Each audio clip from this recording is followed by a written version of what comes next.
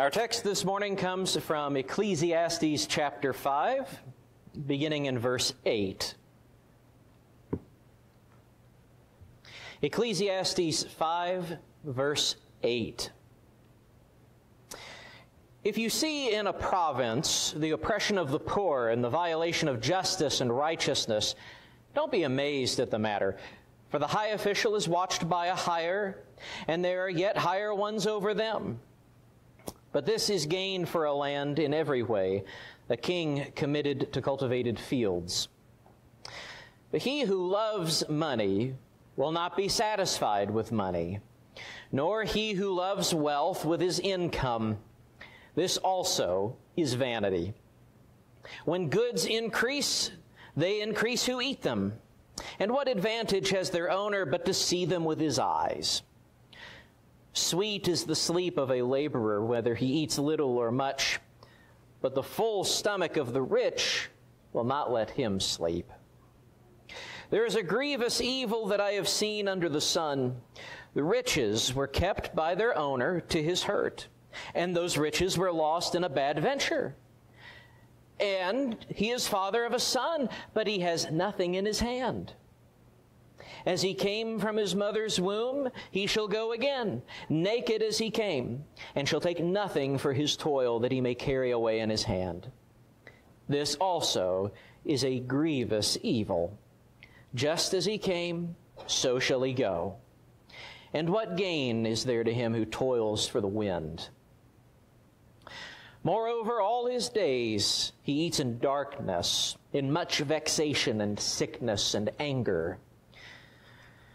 Behold, I've seen to be what I have seen to be good and fitting is to eat and drink and find enjoyment in all the toil with which one toils under the sun, the few days of his life that God has given him. For this is his lot. Everyone also to whom God has given wealth and possessions and power to enjoy them and to accept his lot and rejoice in his toil. This is the gift of God. For he will not much remember the days of his life, because God keeps him occupied with the joys of his heart. There is an evil that I have seen under the sun. It lies heavy on mankind. A man to whom God gives wealth, possessions, and honor so that he lacks nothing of all he desires, yet God does not give him the power to enjoy them but a stranger enjoys them. This is vanity. It's a grievous evil. If a man fathers a hundred children and lives many years, so that the days of his years are many, but his soul is not satisfied with life's good things, and also he has no burial, I say that a stillborn child is better off than he. For it comes in vanity and goes in darkness, and in darkness its name is covered. Moreover, it has not seen the sun or known anything. Yet it finds rest rather than he. Even though he should live a thousand years twice over, yet enjoy no good. Do not all go to the one place? All the toil of man is for his mouth Yet his appetite is not satisfied. For what advantage has the wise man over the fool? And what does the poor man have who knows how to conduct himself before the living? Better is the sight of the eyes than the wandering of the appetite.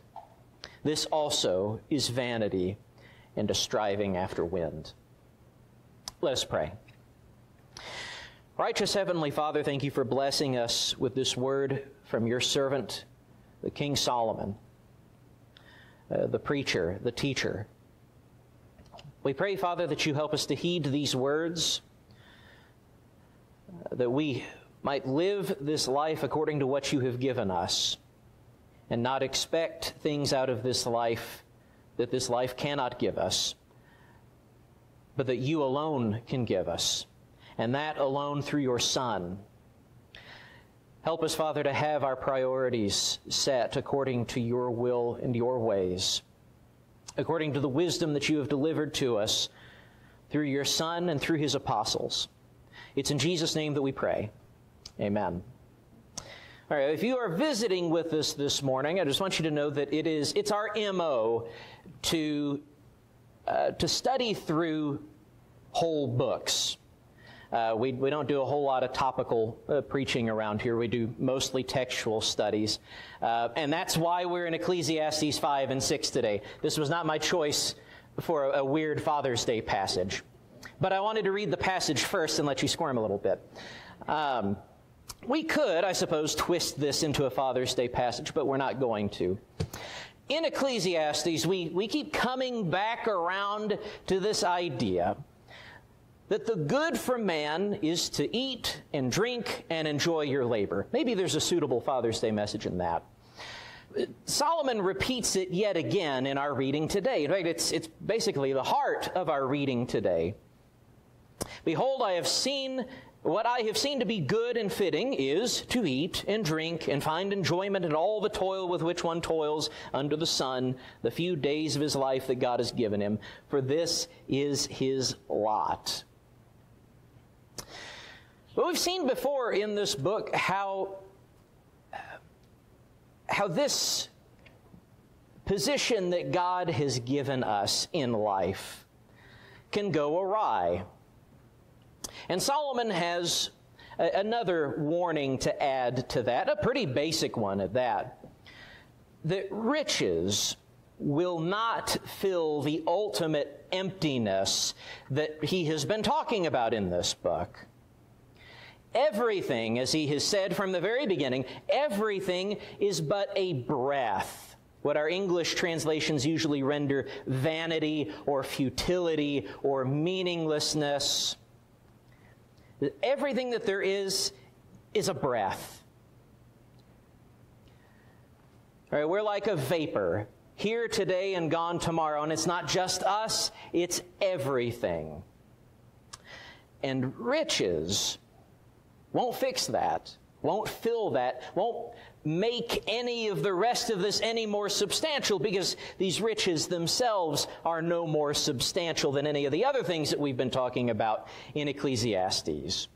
And so our work and our enjoyment of our work shouldn't devolve into some kind of attempt to amass wealth, to, to fix what's wrong with this life. And Solomon talks about a few ways in which wealth shows itself to be just a breath. A few things that I want us to consider this morning. And the first thing that he talks about is this human tendency that we have not to be satisfied with the things that we go after once we get them. He who loves money will not be satisfied with money, nor he who loves wealth with his income. This also is vanity. This is an idea that he's returned to a few times in this book that the eye is not full of seeing, the ear is not filled with hearing. The reading today begins and ends with this idea. Right, if we skip ahead to, to chapter 6, verse 7, we read, All the toil of man is for his mouth. Right, God, God gave us a built in money pit right here in the middle of our face. All the toil of man is for his mouth, yet his appetite is not satisfied. For what advantage has the wise man over the fool? What does the poor man have who knows how to conduct himself before the living? Better is the sight of the eyes than the wandering of the appetite. This also is vanity and a striving after wind. The thing is that we will never be truly satisfied with wealth of any kind, whether we're talking money, or we're talking houses, livestock, children, Funko Pops, any of the, there's all kinds of things that people amass. And Solomon tells us we're never going to be satisfied with any of it. this is a lesson that should be intuitive to us. I mean, we can obviously understand it like in our heads, like, okay, yeah, that makes sense. Uh, but I, I, want us to try to wrap our, hand, our heads around just how strong this truth is in the real world. Who do you think of whenever you hear the word billionaire? Right, just whoever you think of, just have that person in your mind. I mean, we've got any number that we could be thinking of. But I want you to consider for a minute what it takes to make a billionaire. Let me, let me go back. We're going to do a short thought exercise. It's not going to make any sense at first, but it will in just a second. Uh, because I, I suspect that most people don't spend a lot of time thinking about the Norman invasion of 1066. but you spend a lot of time speaking it because it's what introduced all of these Latin rooted words into our language. That's how we ended up with, with French sounding English. That happened not quite a thousand years ago, 1066. I want you to consider this that if you had been alive for the Norman conquest of England and had made a million dollars every year since then, you would not be a billionaire today. Was, I think that's basic math that I think I got right. Right? A thousand millions takes a, makes a billion, right? That's a long, long time ago, folks. I, I don't know what a million dollars looks like, let alone a million dollars every single year for a thousand years. What would you, what, I don't know, maybe your imagination is stronger than mine. I don't even know what I would do with a million dollars every year for a thousand years. And yet, you think of the person I asked you to imagine earlier. Do you think that person's satisfied with the wealth that they have amassed? Do you think that they enjoy some kind of satisfaction in this life that you and I can't enjoy. They have wealth that again, we just, the, the point of that thought exercise is we just, we can't really properly comprehend how wealthy some people get in this world. And yet not even that is sufficient to fill the craving that we have because everything that we get just creates more craving. Right, everything, everything works at scale, as it were. All right, the bigger your income gets, the bigger your appetite gets. And the bigger your appetite gets, the bigger your income needs to be. And that's not the only thing that scales up, according to Solomon. He says the second way in which wealth is vain is through the hangers on that it attracts. When goods increase, they increase who eat them. And what advantage has their owner but to see them with his eyes? There's, this cuts a few different ways. Uh, we've got a slightly more modern proverb that speaks to this. The man with a full purse never lacks for friends.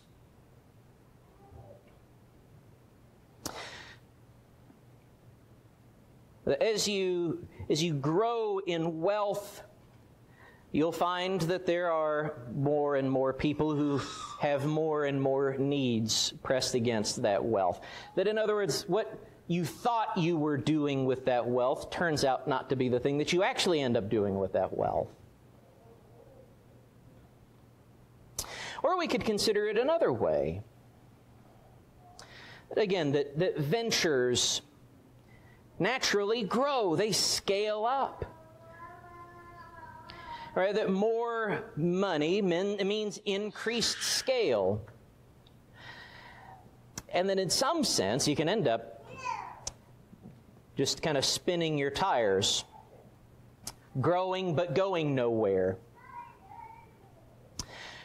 But this is something that, again, we're, we're all subject to. And it fits right in with this unlimited craving that we have. That no matter how big we scale things up, we're not satisfied with it. And the people that we attract aren't satisfied with it either. Right? We, get, we get mad whenever we look at, uh, at certain charts displayed on the news and the line is going down instead of going up. The line is always supposed to go up into eternity. Right? Don't those idiots in Washington know that?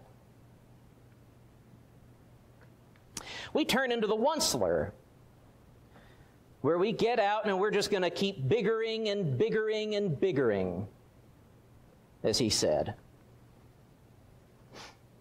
But of course, we know what happens to him if you're familiar with the story of the Lorax. Eventually, he runs out.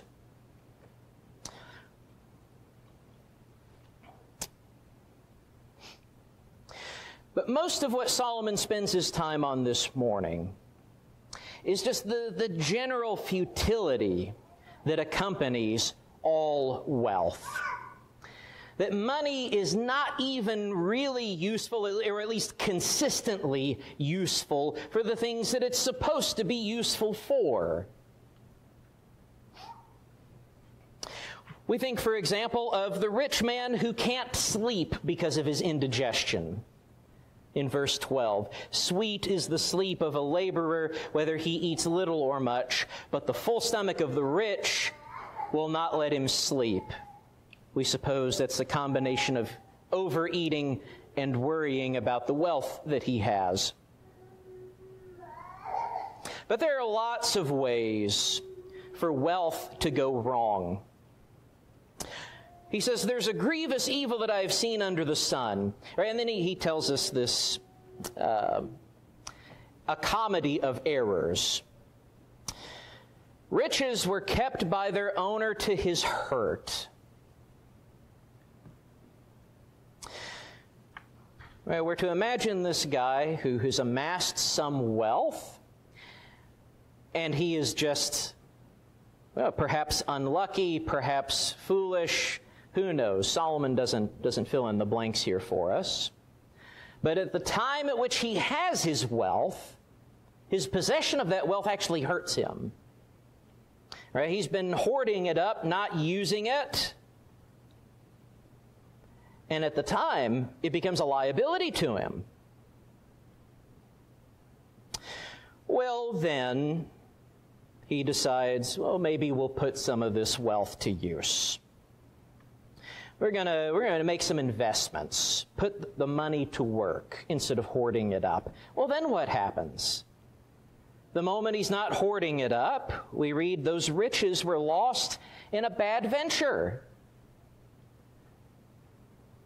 Sometimes holding on to the money isn't any good. Sometimes putting the money to work isn't any good.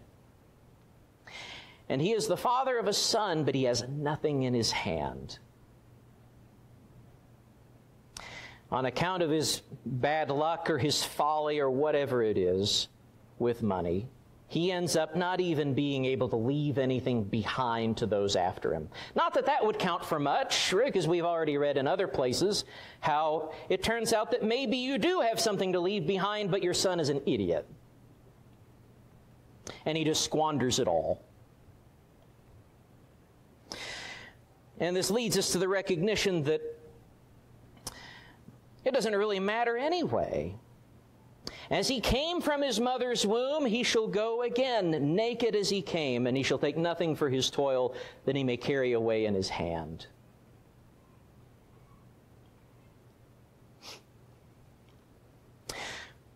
Or finally, Solomon considers the, uh, the illustration of a man who has amassed all of this wealth possessions, honor. He's, he's a man in a high place. But he's not actually able to do anything with it, not able to enjoy what he has. And furthermore, somebody else is enjoying it. All of his wealth, all of his work, all of his prestige just goes to benefit somebody else. Solomon doesn't get specific with us here. Is it some kind of oppression? Is it thievery? Is it a bunch of bureaucratic red tape? Bad tax laws? What is it? He doesn't fill in those blanks for us because there, there's an infinite number of ways to fill in that blank. There have been rich men through all history whose wealth has gone to someone else against their will during their life. But in all of these ways, wealth is vain. It is a mere breath. Not only will it not do what it's intended for in this life, it's certainly not going to, solve the bigger problem of the general meaninglessness, the futility, the, the breathiness of everything in this world. And so the call this morning is not to set your hope on these things. As we've said before, Solomon is working his way there. But he's first considering all of these things that we shouldn't place our hope in. One of the reasons why we assemble together every Lord's Day is because of hope that we do share lasting and eternal hope. We have promises made to us that none of the things in this book can fulfill. You know, the, again, the wealth, uh, any of this stuff. We have the promise of eternal life. We have the promise of the forgiveness of sins. And we share that with you this morning. If you have found yourself looking out in the world for some satisfaction and have found none, we urge you this morning to turn to Jesus, the only place where you can find satisfaction. We urge you this morning to believe in the good news of Jesus, that he is the Son of God who took on flesh and gave himself as a sacrifice for our sins, that he was raised on the third day, that he lives eternally at the right hand of the Father Almighty. We urge you to believe that good news and to turn away from the ways of this world, to confess Jesus to be the Christ, the Son of the living God, and to be baptized into his death, burial, and resurrection for the remission of your sins. If you're subject to that invitation, we urge you, make your need known by coming forward as together we stand and sing.